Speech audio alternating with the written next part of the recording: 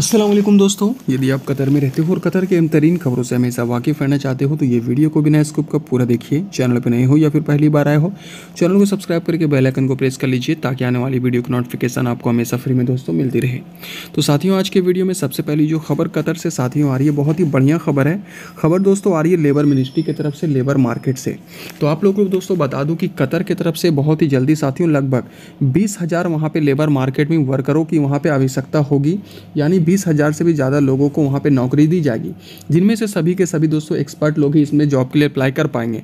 तो जो लोग भी अभी इंटरेस्टेड रखते हो तो बहुत ही जल्दी दोस्तों कतर की लेबर मार्केट की तरफ़ से अनाउंसमेंट किया जाएगा। पर दोस्तों इसमें एक शर्त ये रखा जाएगा कि इस इस जॉब के लिए जो भी अप्लाई करेंगे, उनमें से नौ हज़ार एक सौ जो वर्कर होंगे, वो सिर्फ़ जॉर्डन को होंगे। बाकी जो बाकी जो लगभग दस से ज़्यादा जो वर्कर का जो काम बचेगा वो अलग अलग कंट्रियों के लोगों को वहाँ पे वो काम दिया जाएगा।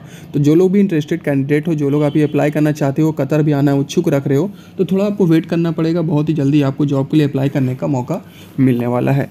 अगली अपडेट की ओर साथियों चलते हैं। अगली खबर दोस्तों जो आ रही है, वो बहुत ही बड़ी खबर है साथियों। यदि आप कतर में कतर में रहते हो या कतर में जाने वाले हो या फिर आपका नया वर्क वीज़ा हो, कोई भी वीज़ा हो विज़िट वीज़ा हो, जिस तरह से वीज़ा से आप यदि कतर अभी जाना चाहते हो तो आपको मैं बहुत ही बड़ी खबर आपको साथियों बताने वाला हूँ। यदि आप कतर अभी ट्रैवल करना चाहते हो तो जैसा कि आप लोगों को पता भी है कि क्वारंटीन सिस्टम जो है वो कतर से बिल्कुल ख़त्म कर दिया गया है। तो कतर में क्वारंटीन सिस्टम दोस्तों अभी ख़त्म हो गया है। पर एहतराज एप्लीकेशन का आपको दोस्तों एक्टिवेट कर लेना है और आपको उसका अप्रूवल लेकर ही जाना है। यदि आप एतराज़ एप्लीकेशन एक्टिवेट नहीं करते हो और यदि आप एतराज़ एप्लीकेशन का अप्रूवल वहाँ पे हुकूमत से लेकर नहीं जाते हो तो आपको एयरपोर्ट पे ही आपको वापस कर दिया जाएगा, यानी फ़्लाइट आपको जो है आपकी छूट जाएगी। तो चाहे वो इंडिया से आप हो पाकिस्तान से हो नेपाल से हो बांग्लादेश से हो, किसी देश से आप ताल्लुकात रखते हो तो एतराज़ एप्लीकेशन को आप एक्टिवेट ज़रूर कर लें। उसका अप्रूवल तो दिया जाता है कतर हुकूमत की तरफ़ से। वो अप्रूवल आप ज़रूर ले लें। उसके बाद ही आप एयरपोर्ट की एयरपोर्ट की तरफ़ जाएँ। नहीं तो वहाँ पर जाने के बाद यदि एतराज़ एप्लीकेशन का अप्रूवल वहाँ पर मांगा जाएगा, यदि आपने वहाँ पे नहीं दिया तो आपको वीज़ा आपको फिर जाने की इजाज़त नहीं होगी, आपका फ़्लाइट भी छूट जाएगा। तो यही बहुत ही बड़ी दोस्तों अनाउंसमेंट की गई है। कतर हुकूमत की तरफ़ से और बहुत सारे लोगों के साथ ऐसा हुआ भी है। इसलिए दोस्तों, मैं ये खबर आपको मैं बता रहा हूँ। अगली खबर की ओर साथियों चलते हैं। अगली खबर दोस्तों जो आ रही साथियों, वो हैया कार्ड को लेकर है। तो साथियों, जैसा कि आप लोगों को सभी को बाखूबी पता ही होगा हैया कार्ड के बारे में तो कतर हैया कार्ड वो है, आपको किसी भी तरह का वीज़ा निकलवाने की ज़रूरत नहीं है। फीफा वर्ल्ड कप के दौरान हैया हैया कार्ड यदि आपका बना हुआ है तो आप फीफा वर्ल्ड कप देखने आप जा सकते हो। इसके बारे में आप लोगों को सभी को पता होगा।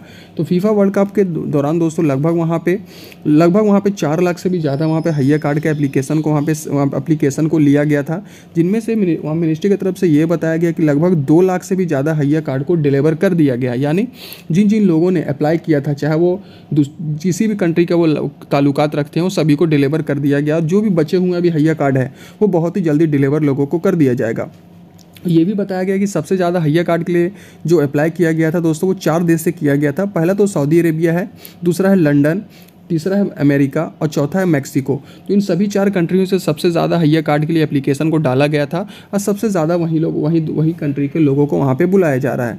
तो जो लोग भी आप लोग दोस्तों जाने वाले हैं हैया फीफा वर्ल्ड कप देखने तो हैया कार्ड आप लोगों के लिए बहुत ही ज़रूरी है।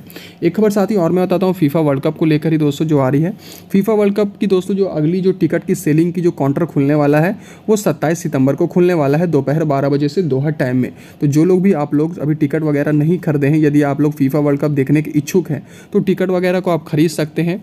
W W dot FIFA FIFA tickets, FIFA slash ticket. इस वेबसाइट पे जाके आप चेक कर सकते या फिर डायरेक्ट आप लिखिएगा फीफा टिकट गूगल पे जाके तो वेबसाइट ऑटोमेटिक खुलकर आपके सामने आ जाएगा।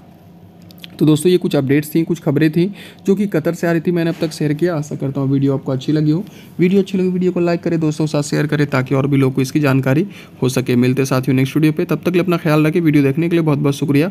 अल्लाह